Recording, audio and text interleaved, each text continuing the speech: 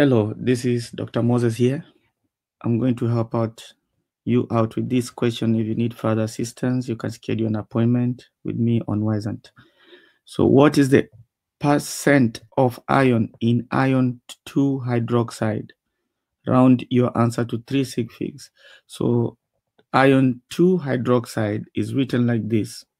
Why? Because we know that iron 2 has a valency or charge of, I mean, has a charge of 2 plus, and then hydroxide has a charge of negative. So if you drop these numbers, you'll find that the, this is negative 1. You'll find that the 1 comes here.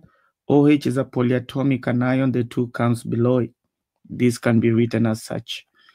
Now, because we are talking about uh, the percent, what we can do is to find the mass. So if you know the total mass of this formula, you just simply divide the mass of ion over the total mass times 100. So each ion, the period, uh, each mole of an ion has a mass of 55.847 in the periodic table. Oxygen has a mass of roughly 16. Hydrogen has a mass of 1. But you see, we have one ion. So I'm going to say 1 times 55.847. We have one ion in the formula. There is. We have two oxygens and we have two hydrogens. So I'm multiplying 2 times 15.994 and then 2 times 1 because each hydrogen has a mass of 1. Then we'll sum them up. So let's do that multiplication and then add them.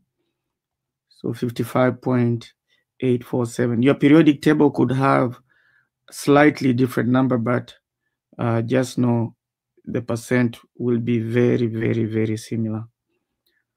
Okay, so we are adding that to twice the mass of oxygen. Okay, and then we add 2, which is 2 times 1. We have two hydrogens. So I'm getting a mass of, the total is coming to 89.835. That is the mass of the ferric hydroxide, iron 2 hydroxide. So one mole of iron 2 hydroxide will weigh roughly that much. So in fact, we call it grams per mole. One mole weighs that much. Okay. Now, once we know that, we can come back here and do some calculations. Let's see. So we'll say percent of iron must be equal to the mass of iron divided by the formula mass of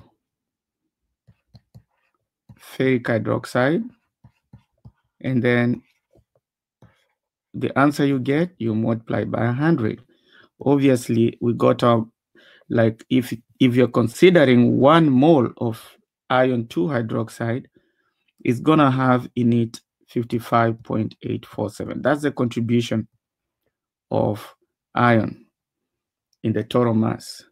And then, of course, the molar mass is 89.835 of the entire iron 2 hydroxide.